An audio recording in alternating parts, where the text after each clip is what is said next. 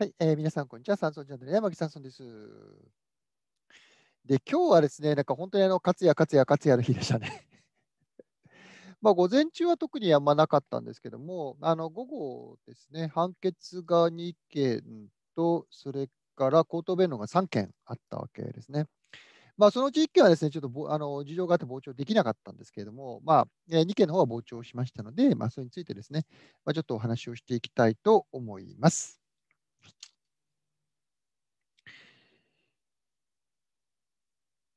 ですかね。じゃあ、ちょっと画面を共有していきましょう。よいしょ。で、まずですね、ハーチュー対 NTT コミュニケーションズですね、えっ、と、21の書き込みが最終的に対象になりました。えっ、と、28のですね、書き込みが、えー、一応当初対象になったんですけれども、まあ、うち7はですね、まあ、その取り下げられたりとか、まあ、それからデータ自体持ってないとか、まあ、そういう理由で、まあ、対象外になったと、まあ、いうことですね。で、21対象になって、そのうち2つが開示、まあ、19が非開示となったんで、まあ、これはある意味、勝訴かなということですよね。まあ、あの大吟醸勝訴ですね。ありますけれども、うんまあ、ある意味勝訴なのかなというふうに思っております。で内訳ですけれども、名誉毀損が6件ですね。で、これは完全全部勝訴です。あの妊活詐欺ですとか、ステマですとか、まあ、そのあたりですね、まあ、全部違法接続学習があるということで、これは非常に妥当な判決ですね。で、あと15個ですね、侮辱刑が15個あって、でそのうち2つが10人限度を超えていると。で、あと残りがですね、10人限度を超えていないと、まあ、いうことですね。ただ、この侮辱に関しては、やっぱり裁判官次第でどうかということもあり得るのかなと思ってます。ねまあ、ちょっと一応見ていきますと、まあ、1番目が、これは政府ですね、生き味夫婦なんだからっていうことですね。まあ、生き恥夫婦でどうなのかなとは思うんですけど、まあ、この人の感想ですよっていうことなんでしょうね。から2番、性格の悪さがにじみ出てる。まあ、これはセーフでしょうね。うん、これは、あとなんだっけ？あ川、生い立ちが最悪か。まあ、これも、まあいいんでしょうね、多分 まあ、裁判官いいって言ってるわけですし。で、4番、頭おかしくなった元から頭は、これ微妙だったよね、正直。あの、まあ、ベストではこの頭おかしいでアウトになってるやつもあるんで、からあと、判例ではですね、あの、気違いの一言でセーフになってるやつもあって、まあ、それは微妙なところであるんだけども、まあ、今回セーフということですね。から5番の嘘つくのが平気、嘘ついてる自覚ないのかな、まあ、これはね、真実性があれば、えー、嘘つこういうこういう嘘言ってるよっていうことを言えればまあいいのかなという気がします。これはまともに対話できない、都合悪いと論点ずらしたり、嘘ついたり、まあ、これも同じですよね。まあ、あの嘘言ってるっていうことは言えればいいのかなという気はしますけど。から8番ですね、逮捕って言葉が頭を浮かぶわですね。これ、じゃあ犯罪行為を犯しているのかっていうようなことですよね。まあ、それを、うん、基礎づけられるかってことなんですけど、まあ、結論としてはセーフということみたいですね。から9番、これはダメでしたね。やっぱり般若顔とかですね、それから精神病院から逃げ出してきたとかですね、まあ書いちゃってて、まあこれは、うん、まあ侮辱取られたんでしょうね、やっぱり。まあ結論から言うとこれアウトということのようです。これは10番ですね、絶対謝らない平気で嘘をつくと、まあ、このあたりはまあ本当のことを言ってるんでいいんでしょうってことでしょ。11番、これ危なかったね。あの自己愛性パーソナリ障害。これは要するに精神病だっていうふうに指摘してますんで、うん、これは危なかったですね。裁判官次第でアウトになった可能性はあったと思いますね。12番ですね。これは立証できればいいんでしょ？えっ、ー、とサ、サロンのセクハラ事件、妊活詐欺、血液クレンジングと。でこれはだからその内容を立証できればいいわけで、で今回、まあ、当然政府ということになって、まあ、これはあの非常に妥当な判決だと僕は思います。13番も危なかったね、実行愛性人格障害ですね。あの自己愛が強いとか、なんかそういうこと言うんだったら政府なんだけど、ここまであの精神病だって言っちゃうと、なんか、まあ、アウト取られる可能性はあったかなという気がしますね。はい。で、14番、これがアウトみたいですね。逆にこれの方がなんか政府っぽいような気がしないでもないけどね。なんか深いシワとか頬あの頬骨がでかいとか、えー、肌がくすんでるとか、まあそんなこと言ってるんですよね。うん、なんで、まあそのあたりがまあ容姿への侮辱ということで捉えたのかもしれませんね。自尊心と自己顕示欲の塊ってもこれはしょうがないんじゃないですかね。で、カブトガニの裏側ですね まあこれ若干危なかったみたいですけどね。まあでもカブトガニがその、なんていうか、いまあ、豚とかと違って、その一般的にその侮辱の対象になるようなその動物じゃないっていうことなんでしょうね。うん、豚みたいな顔してたと多分アウトなんでしょうけど、まあ、カブトガニなんで、まあ、一般的に株とかにつって侮辱する人はいないでしょっていうことなんでしょうね。だから目がコオロギみたいも次も同じですね。だからそのコオロギっていうのはその一般的に侮辱の対象になっている動物じゃないっていうことなんだと思いますね。あの裁判官の判断としてはですよ。まあ、ちょっと危ない話は渡ったかなっていう気がしますけどね。17番ですね、タクシー代組み倒したう わ、これをね、なんかこれは多分名誉毀損系だと思うんだけど、若干危なかった気がするね、これは。あの前にも言ったけど、タクシー代組み倒しに関しては、これ、証拠ないですからね。うん、若干これ危なかったですけど、まあ、セーフですね。よかったよかった。18番、こいつ汚い不潔見てる不愉快も、これは感想でしょ？これは18番ですね。これは妊活詐欺、自死遺族のコメント。自死遺族のコメント僕知らないんだけど、あと、ケツクレのクーポンですか。まあ、このあたり、あの、真実性の立証できれば OK ですよね。これ20番もセーフかな。えなぜ彼女は固くない認めて謝罪しないだろうということを見続けてきたと。で、妊活詐欺ですね。まあ、妊活詐欺はまあ別に、まあ、真実性の立証できれば OK ですね。21番、この人が多分神田先生のあの意見書を取ったはずなんですけど、えー、童貞侮辱発言、専業主婦侮辱発言、サロン搾取、セクハラ、黙殺疑惑、法律婚立、自死遺族侮辱発言、妊活詐欺疑惑、血液クリニック、ステマということで、まあ、これまあ立証できれば OK ということで、まあ、今回立証、立証というか、まあ、あの、なんていうんですかね、真実っぽいということを言えればですね、一応セーフということなんでしょう。まあ、そうですね、これらはなんか証拠あるみたいなんで、まあそういうことで、ちゃんと裁判官が判断すればこれはセーフですよね。それから22番、子供を産めないふり、埋めるのに埋めないふりしてると、まあこれもそうですよね。23番、これはセーフだよね、多分ね。AV 男優と事実婚して子供を設けるという一発芸を試みた。想像以上に世間に興味を持たれていなくて、進化のりがさっぱりでがっかりピエンからの結局アンチにして逆切れ、激おこ、プンプン丸。まあ、これはなんか感想のように見えますけどね。24番、自称サッカーですか。まあ、これも侮辱なのかな。から妊活、詐欺妊活本か。まあ、これがだから、えー、真実性でどうかってところなんですけど。まあ、真実だよね。この、え、童貞に嫌いで市民権、えー、妊活詐欺、血液クレンジングですか。えー、タクシー運転手に嫌われて、まあ、これはセーフなんでしょうね。はい。なんで、セーフということですね。から26面白すぎる。これ例の動画に対する感想なんで、これはもう取り下げろっていうふうに裁判官から言われてましたよね。ということです。27番、これ多分ね、あのイオンリテールの方であのやるんで、こっちでは取り下げなのかなという気がします。ハーチュー、本当に邪悪の化身かも、これは感想だよね。というようなことだと思います。ですかね。というわけで2件を続い2件除いてですね、あのまあ、棄却されましたんで、まあ、とりあえず勝訴に近いかなと。まあ、あの名誉毀損系全部侮辱あの棄却されたというのはすごく大きいですよね。認可詐欺とかもやっぱり事実だということで認定していただいたので、あと血液クレンジング血液クレンジングとかですね、あとセクハラ発言か、セクハラか、あのえっと、サロンでのセクハラね。まあ、このあたりが真実だと認定されているんで、まあ、これは本当に良かったと思っています。まあ、侮辱に関しては結構微妙なのもあって、まあ、もしかしたら交際とかで違う結論になるかもしれないですけどね。っていうところ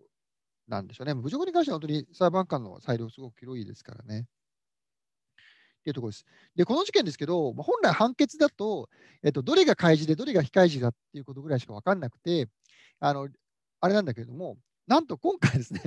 あの僕とマリメッコさんとですね、それから、えー、オードリーさん3人で入って傍聴に行ったらですね、裁判官から声かけられて えー、皆さん傍聴ですかと、この事件の傍聴ですかって聞かれて、あのまあ、当然、はいって答えますよね。でそしたら、じゃああの理由説明しましょうかとか 言われてですね。それで、えっと、15件が、えー、侮辱で、6件がその名誉毀損で、で名誉毀損に関しては真実性があるから、えー、違法性組閣自由があると。で、15件のうち2件のですね、先ほど言った2件が、これがあの12件度を超えていると。まあ、こういうようなですね、えー、説明をしていただいたということです。非常に珍しいですね。あの民事訴訟、まあ、刑事は理由全部読み上げるんだけど、民事訴訟で判決理由読み上げるということはまずないです。読み上げるのは、あの1回目の口頭弁論に被告が欠席して、それでもあの訴状通りの判決下すときですね、この時は読み上げるんですね。あの読み上げるって、まあ、理由を簡単に説明するんですね。あの被告は口頭弁論に出席せず、えー、答弁書も提出しないので、自白したものとみなすと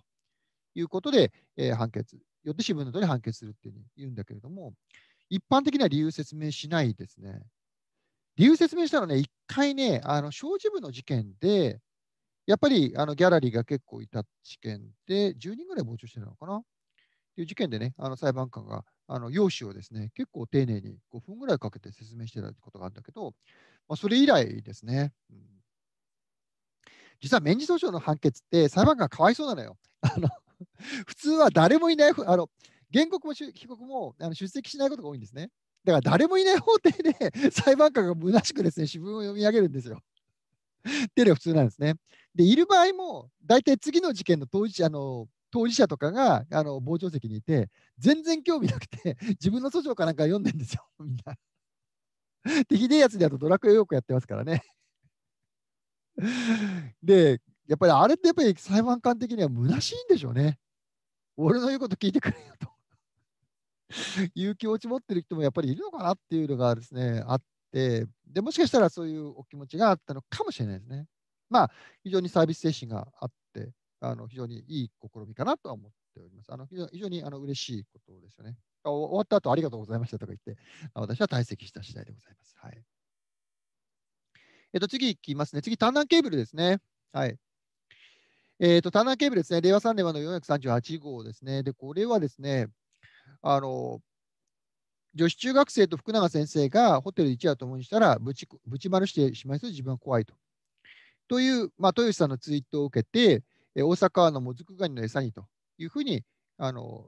リプライしたというわけですね。で、これ、豊吉さんの方は非開示になったんですけれども、えこちらの大阪港のもずくガニの餌の方は開示せよになりました。で、これ、単南ケーブルで、あの福井県の会社なんで、10万円の損害賠償を付け加えることで、管轄を東京に持ってきてたんですね。で、その10万円は棄却なので、17分の1は原告負担、で、残りは被告負担という形のそう、え、なりました。だこのあたり裁判官ガチャですよね。あの豊田の方では、これ、あの棄却になってるのに、こっちでは任用になってるわけですよね。だから、本当に似たような事件、でありもかかわらず、こちらでは任用されているということで、裁判官によって反応が違うということですね。まあ、だから福永先生のこの、あれですよね、その淫行に対する意見に対する、え、あのついて、その家庭の話を持ち出して、その一異論を述べているわけじゃないですか。でそれに対してどうなのかなっていうところですかね。まあ、違いがあるとしたら、その豊さんに関しては、この正面から結局、えー、そういう、こういう事例だったらこうだよねっていう形で、結局、その未成年者に対する淫行がその処罰対象になるのかっていうことに関して、一応例を挙げて反論していると、まあ、そういうふうに、えー、見ることができるのに対して、そのリプライに関しては完全にふざけてるだろうとまあいう見方は確かにできなくもないけどね。でもね、なんで結論違うのかなっていうのはちょっと思うし、やっぱり裁判が勝ちなのかなと思います。まあただ損害賠償でも戦うと思うので、ぜひ頑張っていただきたいですね。まあ、そもそも訴えてくるのかですよね。あのネコピさんなんかまだ訴えられてないですからね。うん、あちなみにネコピさんがあの福永から開示されてるじゃないですか。で、まだ訴えられてないと。で、これ僕には考えがあって、あのハーチューが今、ネコピさんに対して改正句かけてるんですよ。で、これ多分認められる可能性高いんですよね。で、開示1件につき66万って契約してるじゃないですか。だから、66万上乗せするために、ハーチューの方で開示して、ハーチューが単独で訴えてくると。で、66万上乗せして訴えてくるということを多分考えていて、でそのために福永個人はネコピさんに対して訴えを起こしてないと、まあ、いうことなのかなというふうにあるについては僕は思っております。あと、令和3年はの4926、これはね、えっと、同じ1時15分だったんですね、単南ケーブルと同じで。で、判決聞いてはもう走っていったんですけれども、これ間に合いませんでした。で、民事16部行って聞いてきてですね、次回10月12日13時10分ということで、これ多分判決ということですね、えになるかと思います。あの傍聴できなかったということですね。から今日第1回だったのが、ハーチュー対金子先生ですね、石橋康美先生です。えー、令和3年の14726という事件ですね、民事5部の事件です。で、これ対象の一つがですね、えー、そういえばかつて某オンラインサロンでセクハラ発言の告発がなされたのに、サロンのオーナーが告発投稿を無断で削除したときは、普段温厚な私も切れた。セクハラ被害を開示した者の声に十分寄せないオーナーの姿勢に絶望した。オーナーは女性だった。まあこれ実際、金子先生、あの、ハーチューのオンラインサロンに加入してたらしいんですよね。うん、なんですけど、ただこれ、ハーチューだと一言も言ってないんで、まあ、そのあたり、同定可能性がどうなのかっていうことですね。からあと、セクハラ発言の告発に対して、まあ、それを削除したっていうのは多分事実なんだよね。っていうか、そういう、あの、そういうことがあったぞっていうのはどっかに書いてあったんで、まあ、それどうなのかなっていうところですよね。はい。で、これ、あの、被告ですね。あの、石橋先生、どうも、弁護士は取ったみたいなんだけども、えー、欠席です。まあ、第1回口頭弁論ということでですね、まあ、欠席ということでしたね。はい。で、次回9月9日の16時30分ということですね。これが826法、806法でしたかな、うん、というところです。から最後ですね、2時から行われたのが、えー、ハーチュー対三浦先生の事件ですね。うん、で、これ次回9月の14日ということです。で、さえー、合議制に代わってですね、まあ、弁論の更新というのをまあするんですね。まあ、更新しますというだけですね。要するに、裁判官交代したときに、今まであの主張してきたことを、まあ、引き続き主張しますよっていうふうにあの宣言することを弁論の更新っていうことでね。まあ、大体あの弁護士同士なんで、あの従前通りと伺ってよいですかっていうふうに裁判官が聞いて、はい、結構ですと言って、あのおしまいになる話ですけどね。そういう弁論の更新というのは行われたということですね。で、裁判官からその実行の件ですね、それからあと判断の枠組みについてですね、えー、原告に補充するようにと、まあ、いうようなことを言ってましたね。あの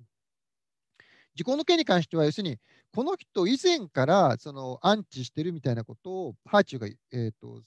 2年半ぐらい前に言ってるんですよね。で、そうすると、以前からその三浦先生がハーチューに対してその批判的なことを言ってたということを認識しないんじゃないかと。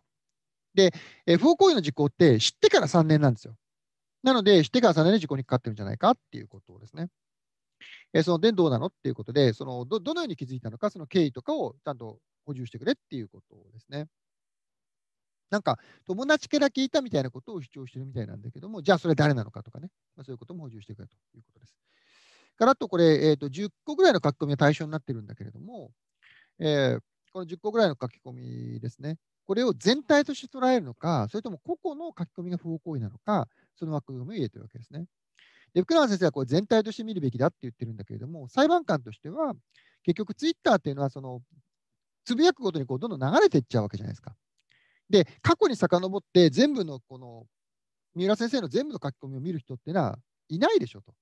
でそうすると普通は個々の書き込みごとに判断するんじゃないですかと、まあ、いうようなことを言っていて、でそのあたりですね、その全体の枠、えー、全体として、えー、侮辱という枠組みなのか、個々の投稿についてあの侮辱が成立するのか、そのあたりを整理してくれと。まあ、いうようなことを言ってましたね。あと気になるのは、なんか損害論については、もうちょっとあの主張してくれみたいなことも言ってましたね。で、その後ですね、あの和解の話について、それぞれ呼ばれてね、えっ、ー、と、まず傍聴に追い出されて、まあ、和解協議なんで傍聴に入れないんでね、えー、傍聴に追い出されて、でまず福永先生が残って、福永先生から話聞いて、えー、その後三浦先生から、えー、三浦先生と交代してね、えー、それで、えー、三浦先生から話を聞いてっていうようなことをやりましたね。で、これで次回が9月の14日の10時50分ということのようです。なんで、和解の可能性ももしかしたらあるのかもしれませんけどね。まあ、ただ福永は飲まないんでしょまた とは思ってますけどね。はい。どうなんでしょうか。まあでも次回の11時半まで時間取ってるんで、また今回みたいに口頭弁論の後に和解協議、傍聴に追い出してね、和解協議にして、まあ、そこで和解っていう可能性も当然あると、まあ、いうことにはなるのかなと思います。で、三浦先生にですね、あの私、名刺渡してきました なんですよね。なかなか三浦先生って、そのリプライとかにもあのレスしないとか、結構その、特にその素人が話しかけると、なんか結構、あれなイメージあ,、ね、ある人もいるみたいなんだけども、なんかちゃんと、あの、なんていうか、フレンドリーに話してくれてですね、非常にあの話しかけてよかったなと。ちょっとビクビクしてたんですけどね。えー、いうことで、オードリーさんも名刺、あのオードリーさんと私も名刺渡して、で、あのマリメッコさんも話しかけてというところでしたね。というところで、今日ですね、まあ、福縄関係5件あったということでですね、かなりその、なんかスーパーチューズデーみたいな、話になっております。で、次ですね、8月3日はまたスーパーチューズデーということで、これもぜひですね、あの傍聴していきたいと思っております。どうも、おやすみなさい。あ、よかったらチャンネル登録と高評価ですね、それからコメントの投げ銭の方お願いします。言い忘れちゃった。ね。